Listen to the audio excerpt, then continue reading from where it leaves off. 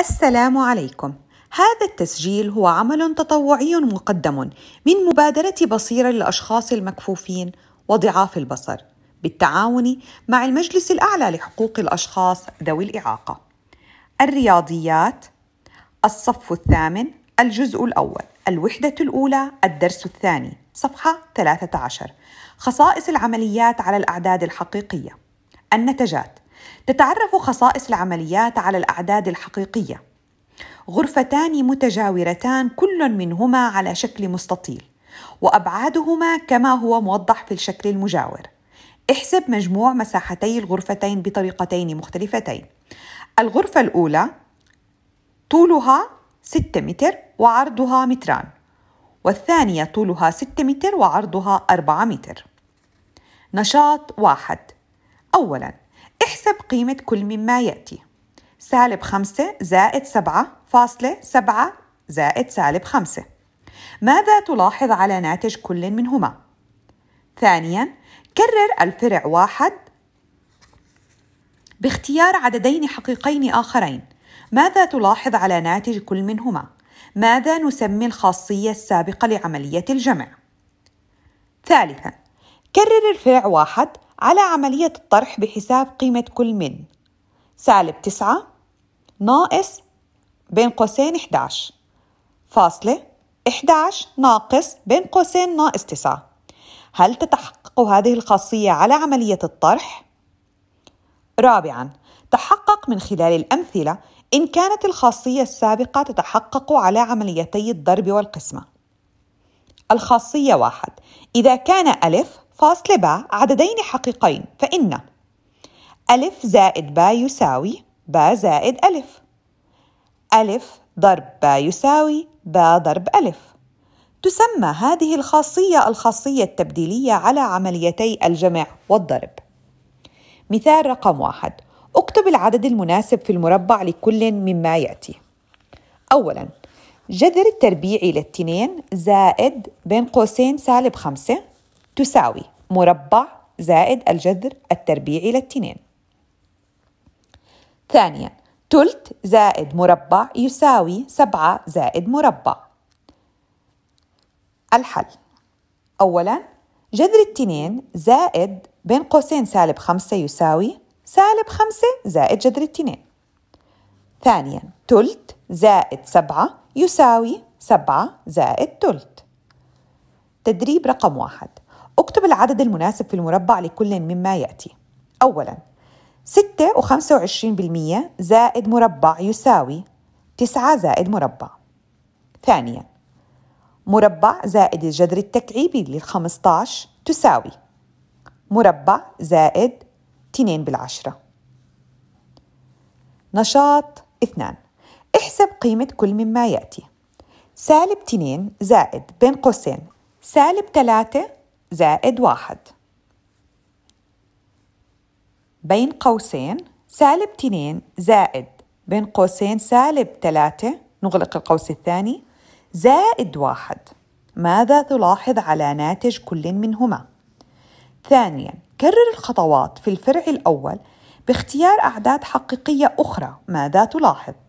على الناتجين ماذا نسمي الخاصية السابقة لعملية الجمع؟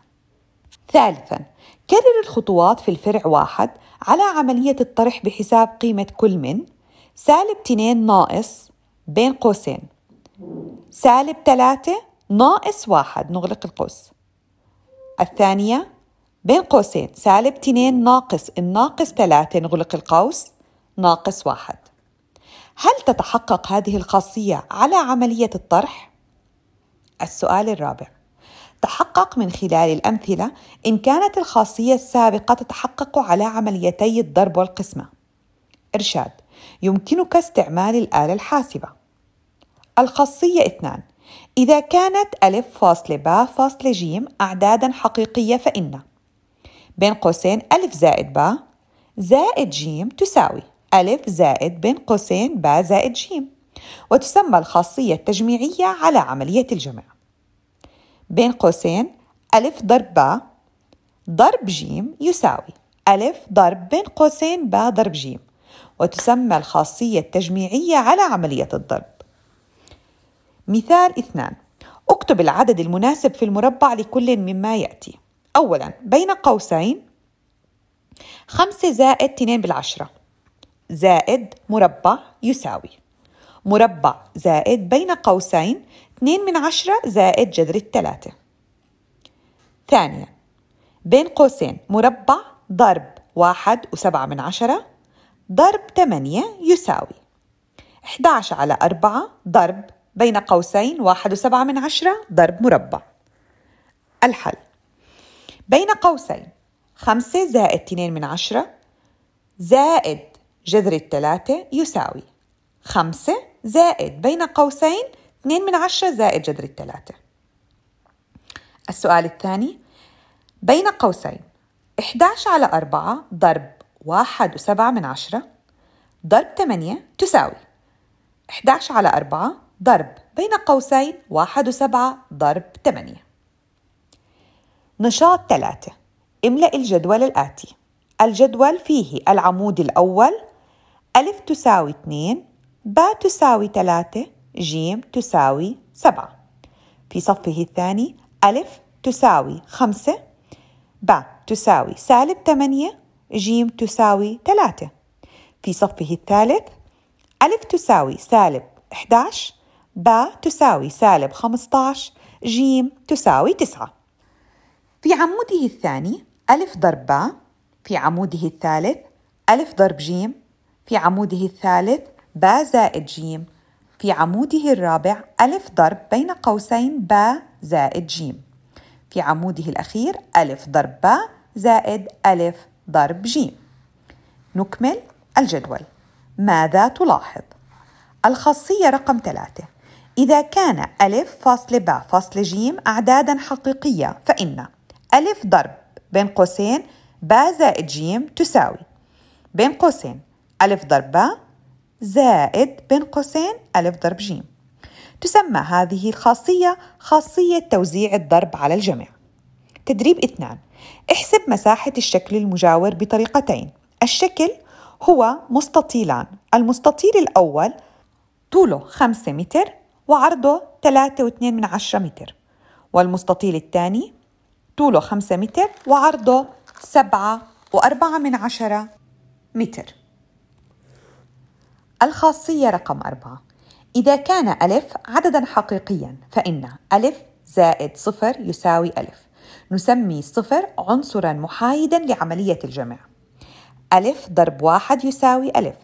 نسمي العدد واحد عنصرا محايدا لعملية الضرب. الخاصية خمسة. إذا كان ألف عددا حقيقيا فاصلة ألف لا تساوي صفر فإن ألف زائد سالب ألف تساوي صفر. نسمي السالب ألف نظيرا جمعيا للعدد ألف أو معكوس العدد ألف. ألف ضرب واحد على ألف يساوي واحد. نسمي واحد على ألف نظيرا ضربيا للعدد ألف أو مقلوب العدد ألف. الخاصية ستة. خاصية الضرب بالصفر. إذا كان ألف عددا حقيقيا فإن ألف ضرب صفر تساوي صفر ضرب ألف وتساوي صفر. مثال ثلاثة. حل المعادلات الآتية. واحد جذر التنين زائد س يساوي صفر. ثانيا جذر الثلاثة على خمسة س تساوي واحد. الحل.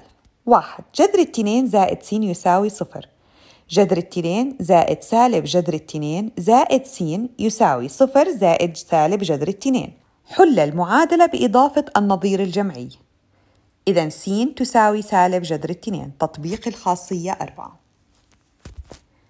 ثانيا جذر الثلاثة على خمسة س تساوي واحد. حل المعادلة بالضرب النظير الضربي ثم الاختصار. جذر الثلاثة على خمسة ضرب خمسة على جذر الثلاثة ضرب س تساوي واحد ضرب خمسة على جذر الثلاثة تطبيق الخاصية أربعة س تساوي خمسة على جذر الثلاثة تدريب ثلاثة حل المعادلات الآتية. واحد. جذر التسعة وثلاثين على سالب اثنين ضرب س يساوي واحد. ثانيا. اثنين صحيح فاصلة ثلاثة اثنين أربعة خمسة إلى ما لا نهاية زائد س تساوي. اثنين صحيح فاصلة 3 2 4 5 ما لا نهاية. 3 سالب جذر الواحد وخمسين زائد س يساوي صفر. فكر وناقش. اكتشف الخطأ في العبارات الآتية مبررا إجابتك. واحد النظير الجمعي للعدد الجذر التكعيبي لسالب 42 هو سالب الجذر التكعيبي ل 42 ثانيا النظير الضربي للعدد جذر الأربعة هو ربع. تمارين ومسائل. السؤال الأول جد قيمة س في كل مما يأتي. ألف. بين قوسين سالب ستة زائد س زائد اتنين وستة بالعشرة تساوي. سالب ستة زائد بين قوسين أربعة فاصلة سبعة دوري زائد اتنين فاصلة ستة. ب. الجذر التربيعي 17 على 42 ضرب س تساوي صفر. ج واحد على الجذر التربيعي لل 11 ضرب س يساوي 2 د أربعة ضرب 92 يساوي 8 زائد بين قوسين 4 ضرب س. السؤال الثاني اكتب النظير الجمعي لكل مما يأتي. ألف الجذر التربيعي للتسعة عشر ب سالب أربعة على سبعة وعشرين. جيم مية وثلاثة وعشرين. دال الجذر التكعيبي للسالب واحد وأربعين. السؤال الثالث اكتب النظير الضربي لكل من الآتي. ألف سبعة وستين. ب سالب جذر الإحداش جيم تنين صحيح وأربعة على خمستاش. دال الجذر التكعيبي لسالب 2 على 13 السؤال الرابع. صندوقان في كل منهما ثمان مغلفات وفي كل مغلف 200 ورقة. ما عدد الأوراق في الصندوقين؟ السؤال الخامس. احسب مساحة الشكل الموضح جانبا بطريقتين. الشكل عبارة عن ثلاث مستطيلات. مستطيل ألف. طوله 6 متر عرضه 5 متر و11 بالمية. المستطيل باء طوله 6 متر وعرضه 3 و7 بالعشرة متر. المستطيل جيم طوله 6 متر وعرضه 9 متر. السؤال السادس. بائع جملة يبيع صناديق من أقلام الحبر. كل صندوق فيه عشر دزينات من الأقلام. اشترى عامر سبع صناديق منها. جد عدد الأقلام التي اشتراها علما بأن الدزينة الواحدة تحوي 12 قلما.